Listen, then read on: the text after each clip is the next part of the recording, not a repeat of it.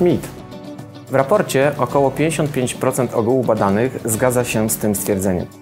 Z mojej perspektywy wygląda to zupełnie inaczej, bo regulacje to także przestrzeń do realizacji innowacyjnych projektów informatycznych.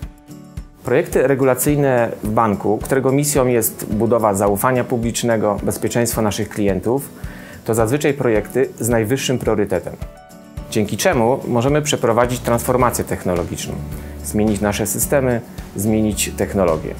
Przykładem jest projekt, do którego obecnie prowadzimy rekrutację, gdzie zmiany regulatora chcemy implementować na nowo, w najnowszych technologiach. .NET Core plus Angular, architektura mikroserwisowa hostowana na Kubernetesie.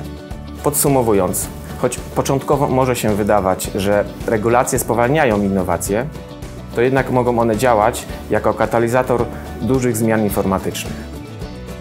Dołącz do IT w banku.